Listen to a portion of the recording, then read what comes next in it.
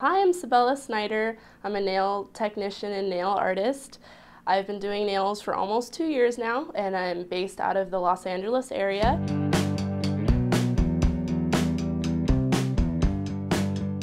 Art really has affected me extremely. I used art to get past a lot of things in my life through my parents breakup, like different things going on in my life. It really helped me to distract me from all the other stuff that was going on. At least you were able to do something that like fed your soul.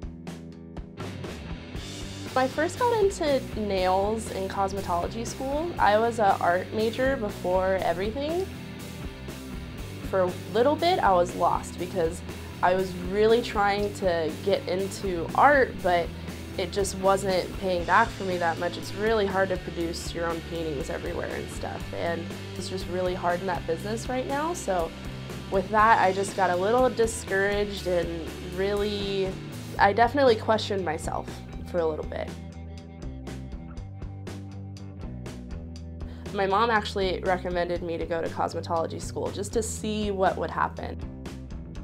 And I thought I was going to be a hair colorist, but I actually figured out like 300 hours in that I wanted to be a nail artist.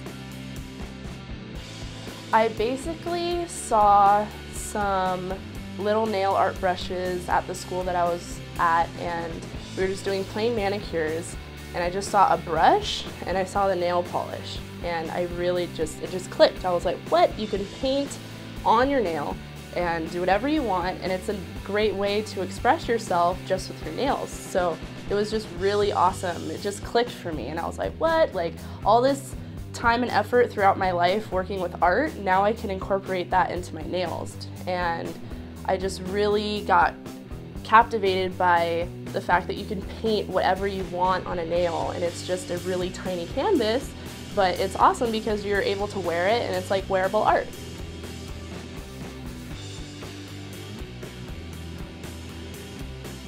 I'm the most happy when I'm doing nail design. Specifically hand painted, but anything in general, it just makes me so happy because I love the art and everything, but the client's reaction to what I do is what I live for. I'm, I'm super happy to hand paint something to make someone else feel good. That's, that's my thing is I want to make them feel good so that they look at their hands and they're like, wow, that's really awesome and it makes them feel good inside.